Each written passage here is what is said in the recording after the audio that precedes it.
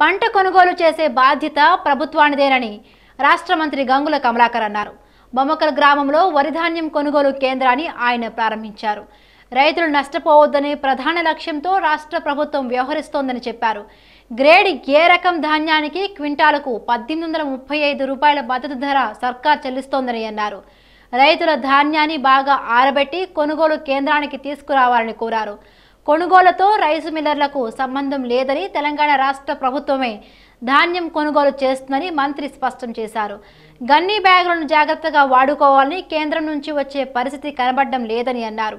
స్థానిక ప్రజా ప్రతినిధులు అధికారులు రైతులు సమన్వయంతో వ్యవహరించి కొనుగోలు సాఫీగా జరిగేలా చూడాలని సూచించారు. ఈ కార్యక్రమంలో మంత్రి గంగులతో పాటు బొమ్మకల్ సర్పంచ్ శ్రీనివాస్ జడ్పీటీసీ లలిత శ్యామ్ సుందర్ రెడ్డి కాసట్టి శ్రీనివాస్ గోష్కి శంకర్ గ్రామ రైతులు పాల్గొన్నారు. ఎందుకంటే ప్యాడీ మంచిగా ఉన్నది బ్రహ్మాండంగా తాళలేదు ప్యాడీకి పడే కదా? గురించి. ఉప్పులోనే శంకర్ పంట పడుతుందా? అంటే ఇప్పుడు అన్నిటికీ కాదు